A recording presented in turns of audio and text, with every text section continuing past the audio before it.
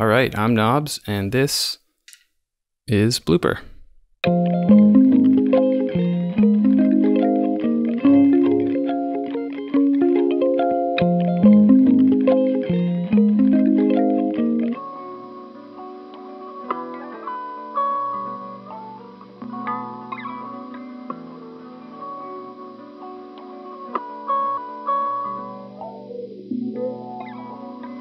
Okay, so we have some stuff on the table now. Help you feel comfortable. We have a nice sock there. What are we doing here? This series is a window into what it takes to make a pedal. Um, the maneuvers and struggles and mistakes that are necessary to bring a thing to life. Uh, each episode will start with a jam, just like we've done here, so you can kind of catch up with Blooper and get a feel for where it's at right now. We'll show you what's changed, footage of tests and impressions and decisions, the work that goes into it. We'll be visiting some familiar friends to see how they bloop, and we have a bunch of trips planned, and we'll just take you with us. We're at the beginning of a process, and there will be things.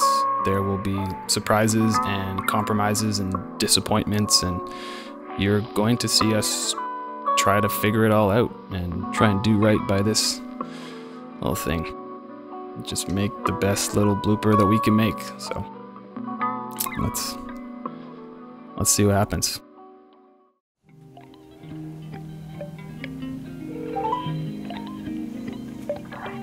Hi. Hey man, How's it going? how do you feel about me taking one of the bloopers completely apart? Do it. Great.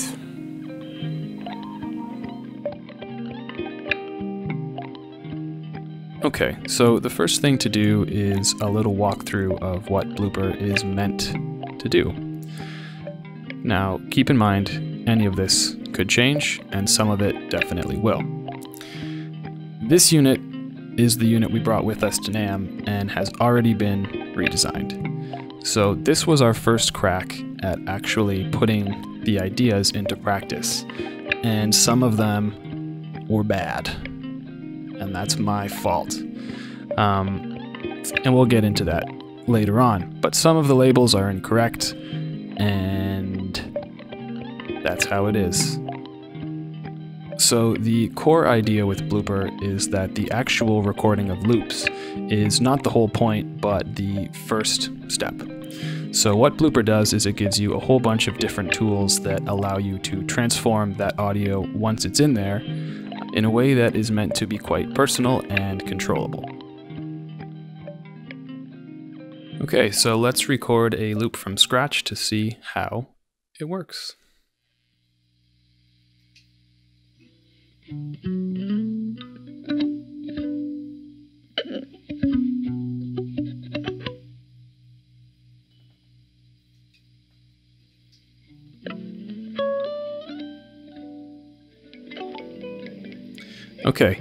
adequate loop recorded.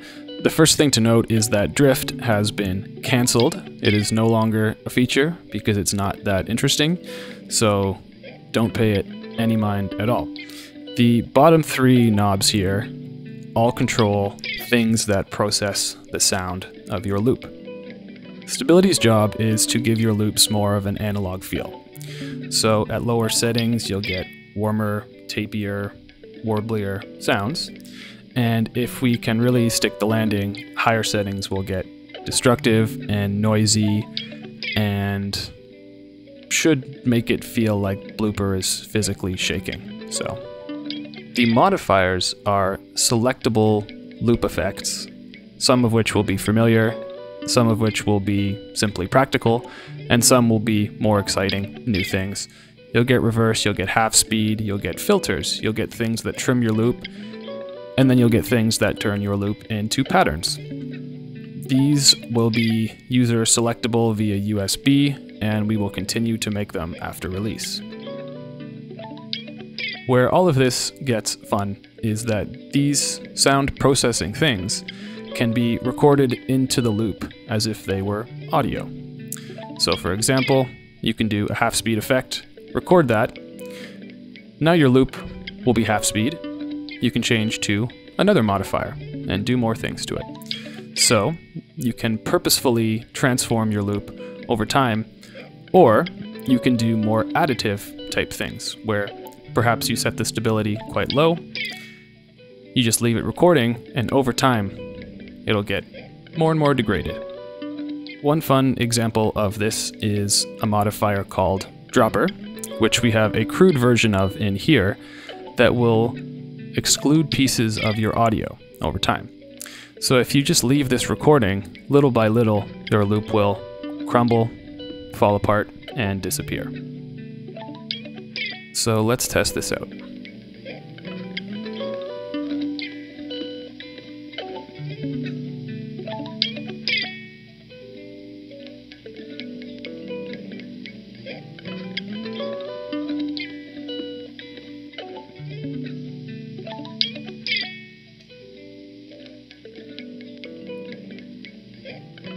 Now, even when stability is turned down, its character is there in the loop.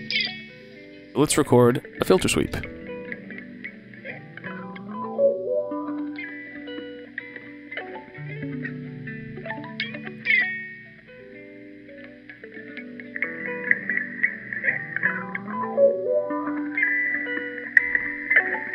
Good. Very crude, but you should get the idea.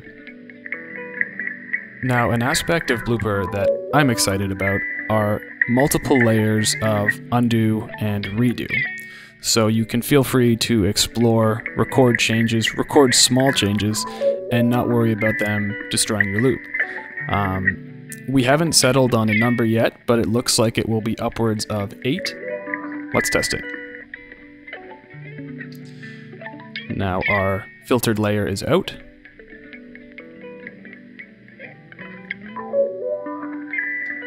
Now our filtered layer is back in. So this is probably a good time to discuss cross. What cross allows you to do is store a loop in a particular state and keep it that way, even as you continue to overdub and change everything else around it. So let's lock in a loop right now. Okay, we've locked in a loop. At this extreme, we have our current active loop, At this extreme, we have the cross loop. Now, if we record a whole bunch more stuff to the main loop, we'll be able to hear the difference.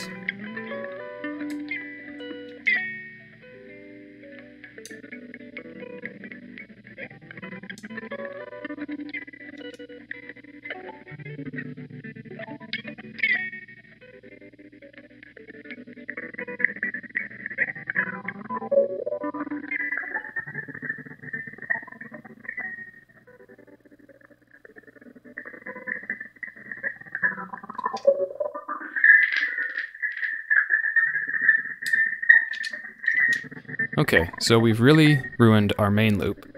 Now we can crossfade back to simpler times. There it is. So simple and innocent. Now, of course, we could dial in a blend of the two.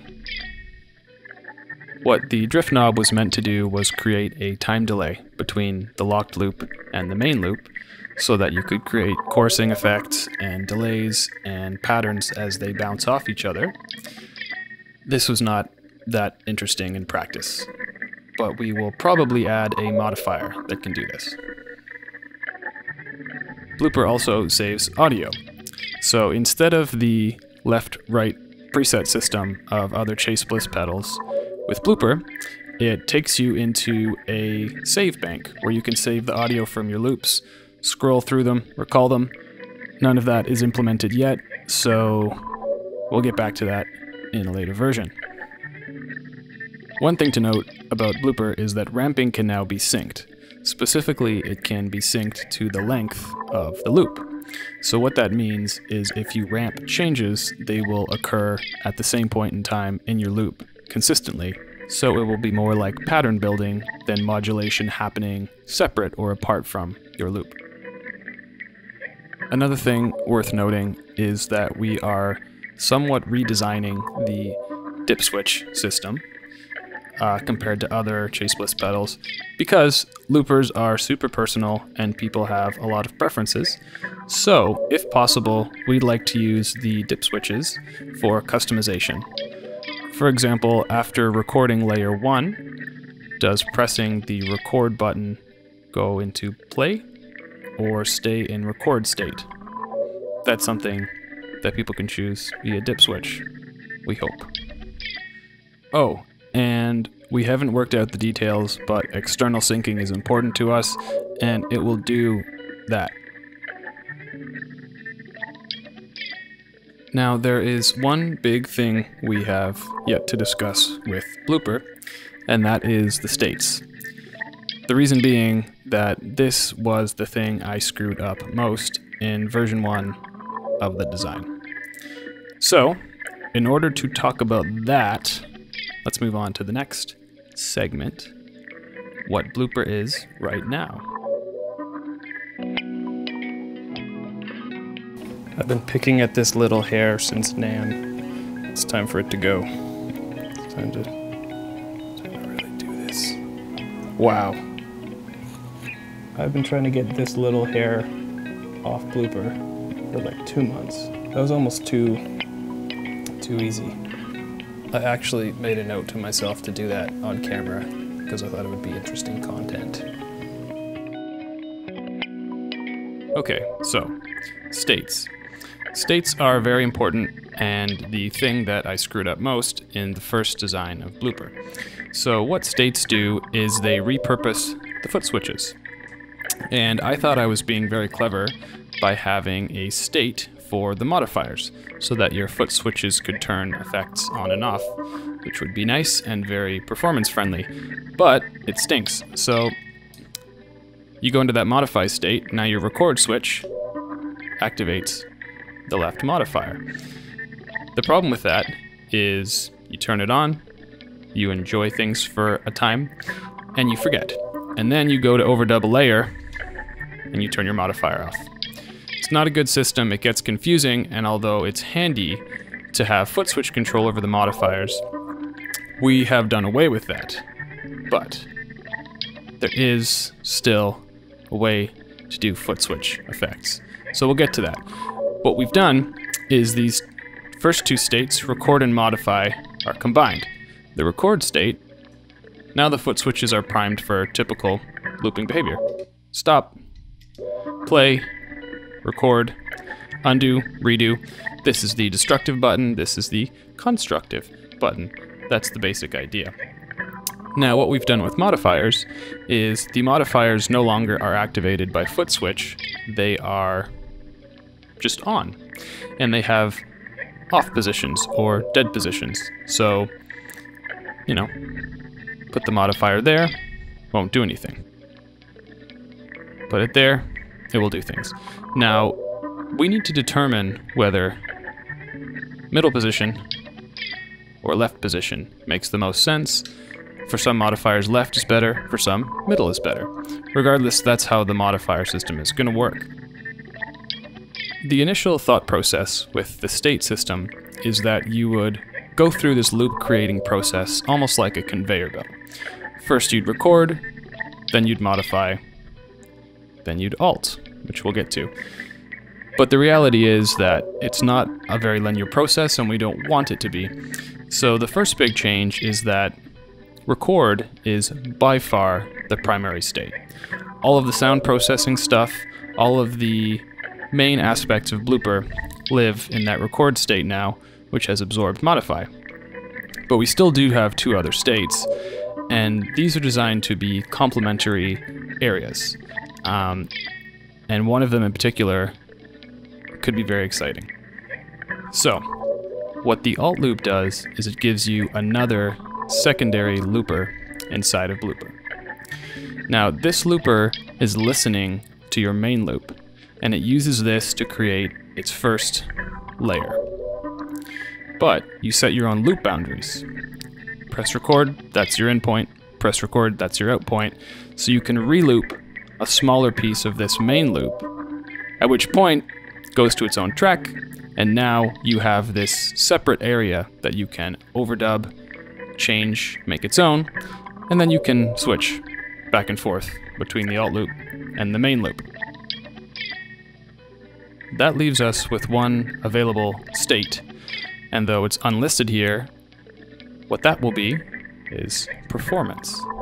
What the performance state does is it repurposes these foot switches into performance oriented things, resetting your loop, momentary reverse, stutter, tape stops, this kind of thing. One of those effects might look like this. Resetting the loop to a point in time that you choose. There's a lot of opportunity for fun with that performance state. And let's hope it is.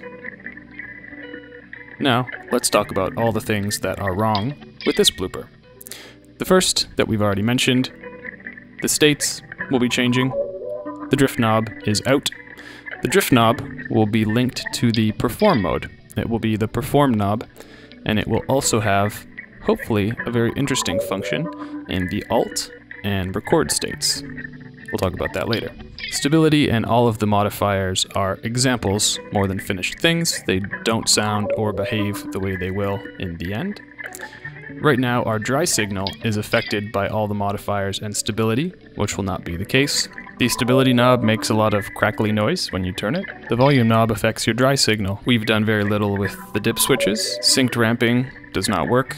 The LEDs do not work the way that they should. And our audio quality is kind of funky. We think it's phasing. In short, nothing sounds or behaves the way it's supposed to. Nothing. Okay. I will never do that much talking in a single video again.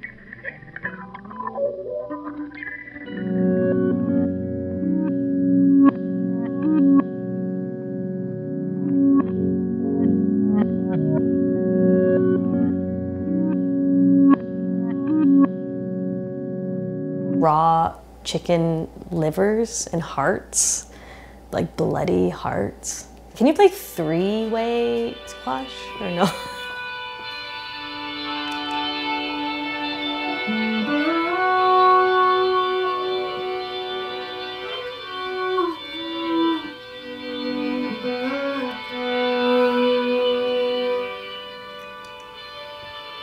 So the original part won't get modified by this? No. That's cool. It's just totally safe. Oh, that's cool. So then you can fuck it up like this. And then go back at the same time. Like this.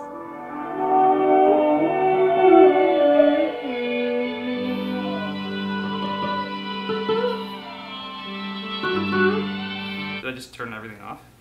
Oh, did I? Could have been me. Okay, there. I can start over and make like a better. We totally broke it.